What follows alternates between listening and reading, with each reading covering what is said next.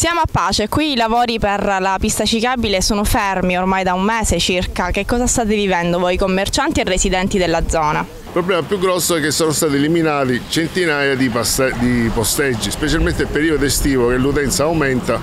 e quindi siamo in difficoltà anche noi che abitiamo qua praticamente. Fine settimana ci sono incidenti in continuazione, noi chiediamo all'amministrazione di intervenire il più presto possibile perché hanno lasciato i lavori in sospeso perché fanno due giorni là e un giorno qua, una settimana di là e un giorno qua, quindi hanno lasciato così in sospeso da uno o due mesi questi lavori lavori. Però devono mettere in condizioni, ora che arriva l'estate, tutti i commercianti di poter lavorare, perché già siamo in grosso difficoltà da tanto tempo. Oggi arriva l'estate e siamo tutti fermi e non credo che finirà presto questo cantiere. Ecco, temete che ormai quest'estate sia persa? Ormai credo di sì, anche se potrebbero attivarsi mettendo altri operai e fare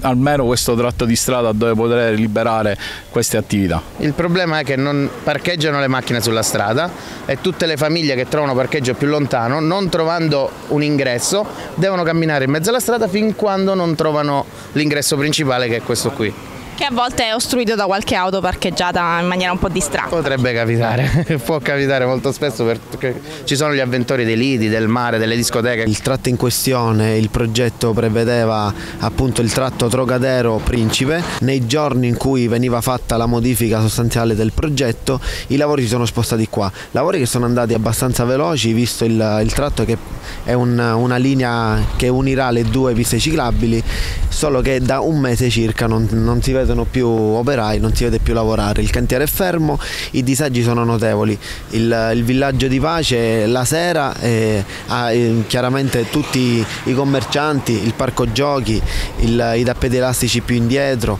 o, o, tanti locali della riviera dove trovavano respiro in questo parcheggio che da, da un mese circa si crea un imbuto e qui la sera non eh, regna, mm, regna l'inciviltà dovuta a qualche automobilista eh, disattento, è diventata anzi una zona di stoccaggio per entrambi i cantieri, sia per questo tratto che per il tratto di Principe. Voi come consiglio avete richiesto un incontro all'amministrazione comunale? Sì, visto lo stallo e visto tanti le, le richieste dei residenti e dei commercianti in zona, ho inviato una, una nota al, alla municipalità, la quale richiedevo un, un incontro, un tavolo tecnico con l'ingegnere preposto ai lavori, il RUP, l'assessore alla viabilità e il sindaco Basile e attendiamo questo incontro per capire la fine dei lavori